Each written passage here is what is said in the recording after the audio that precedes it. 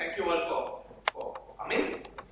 Um, my talk, my talk or mini talk today is titled Space Time Beyond Einstein. Um, unlike many of the Chai and Whys for those of you who are regulars, this is going to be about something not very tangible but rather abstract. Um, I'm going to try in this little talk to introduce you to what uh, uh, I and several other theoretical physicists consider to be perhaps the most uh, pressing, outstanding, unsolved problem of theoretical physics, namely the problem of constructing a quantum theory of gravity, okay, or a quantum theory of space-time. So the talk is going to be abstract um, and will last for about 20 or 25 minutes, uh, after which, as you know, there will be a question answer session. During these 20 or 25 minutes, if you have brief clarificatory questions I didn't understand what you just said, uh, please ask. Uh, broader questions, we can take it. Okay. Uh, okay, so my talk will be divided into three, three of parts. The first part introduces the notion of dynamical space-time. Uh, this is basically introducing what Einstein taught us about uh, uh, about 100 years ago. Um, and then I'll tell you about quantum fluctuations, something else that we learned from, uh, from, from the study of quantum mechanics about 100 years ago. And then I'll tell you about the problem of trying to put these two notions together. The idea of having a dynamical and fluctuating space-time together, uh, why that's difficult, and what attempts have been made. Very briefly, I'll tell you about some of the attempts that have been made to try to, try to address this question. okay, so about dynamical space-time. So firstly, what is space and what is time? Well, we all have an intuitive idea of what space is. Space is where we are located, that which we are located in. Okay? So that in which everything is located. Any event that happens, this, this bottle fell on the table, that's an event, it happens in space. Okay? And uh, those are going to be important for my talk. You can parameterize where an event happens in space by three numbers, namely how far to this side, how far to that side, and how far out. Give you three numbers, you completely locate an event in space. Now, in relation to space, things happen in time. They happen at a place, and they also happen at a certain look, location in time, at a certain time, 11 o'clock. Okay? So time is also something in which things are, uh, events are located, and the location in time, unlike the location in space, is parameterized by one number, namely what time? 11.30, not three numbers. So to completely parameterize where and when something occurred, you need to specify four numbers. Three numbers for where it occurred, one number for when it occurred. Okay.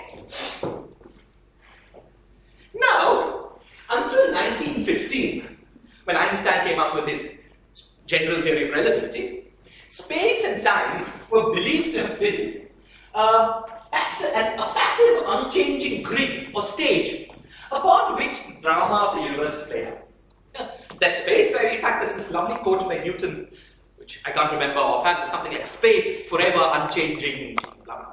Something that's just there on which everything happens.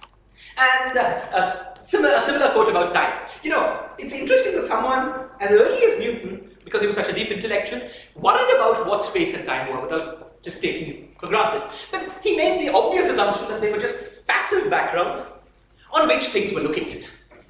Okay? And this is what everyone assumed until 1950.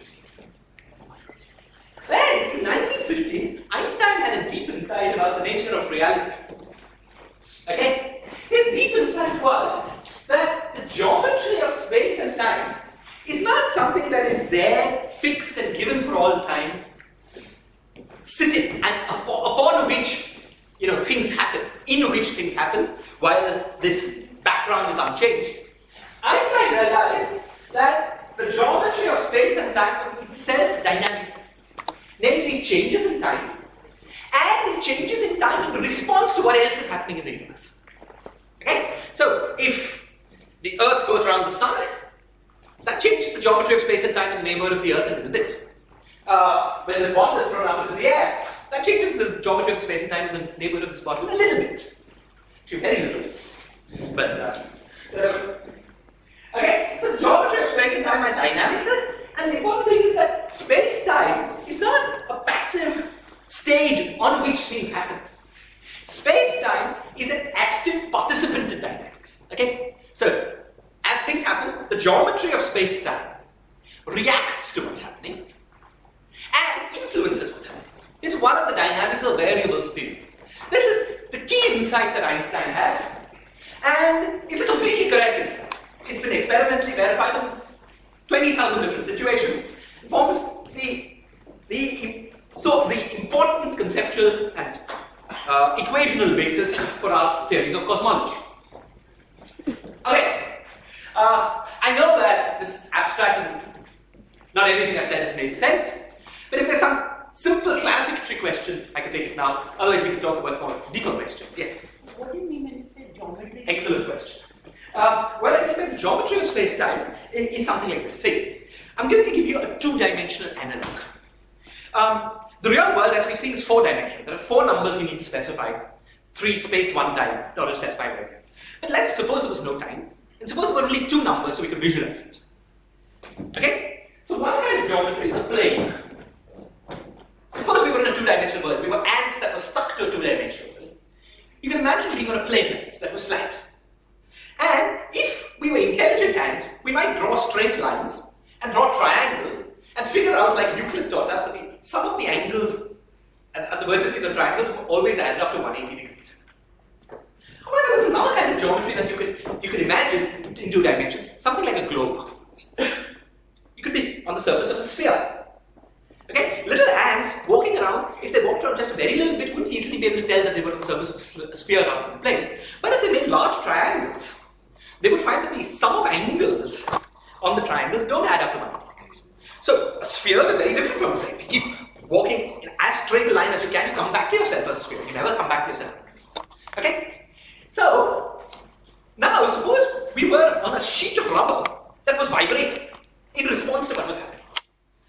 The rubber could initially start off like a plane, but then curve around. Okay? That, that would be the analog, of the geometry of space responding in a dynamical fashion. Now, exactly that is happening, but this geometry is not two-dimensional. It's not even three-dimensional, it's four-dimensional. All coordinates of space as well as time are changing around geometrically in a manner analogous to this rubber sheet. To say more, I will have to say it mathematically. But does this make rough sense? Thank you. Okay. Now, this idea, the idea I tried to I tried to explain now, is pictorially represented in a picture like this. This is the plane we talked about, and this is, say, the Earth or the Moon or some heavy object, and it being there warps space. Warps the rubber sheet of space. Of course, in four dimensions, space and time. But this is a rough analogy.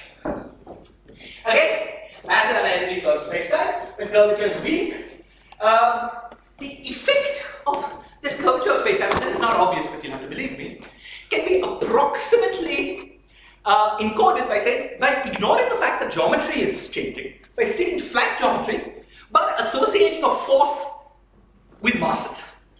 And it turns out that in this weak approximation, you recover the law that we all learnt about in school. Objects attract each other with an inverse square law. However, this is only correct for weak curvatures. When curvatures become strong, when the thing bends like that, there's no sense in which you can approximate the notion of this curved space-time as a force and flat space-time. You really have to deal with curved space-times. And this changes our view of the universe, it changes the mathematical equations by which we model the universe. Okay? And Einstein's theory very, is very successful in describing cosmology, the theory of the theory of how the universe evolved from a very early age to where we are now. Uh, it's not just successful, it's necessary. Newton's theory would not have been successful in describing uh, cosmology. Okay, so I've finished telling you what I'm going to say about dynamical spacetime. Any quick clarificatory questions or comments before we move on to the next part? Say curvature, can you explain curvature? Curvature, okay. Uh, just think of it intuitively as being not flat.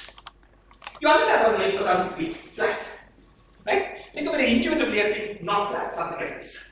Uh, one way of characterizing it is to try to draw triangles and check if the angles, sum of angles at the edges will add up to 180 degrees. But there are more interesting and precise characterizations of curvature, but I won't get into that at this point. Yes, please. Uh, as of now, when you're showing your pictures, the curvature is usually bending in. Yes. So what, happen, what happens to space-time when your curvature does not bend in, your curvature bends outwards. Yeah, both these can happen. It's a very good question. Both these can happen. Curvatures can be both positive as well as negative. Um, you know, if you look at this, the sheet of uh, a saddle, where you've got the saddle going like this in one direction and this in another direction, that is a sheet with what, what is called negative curvature.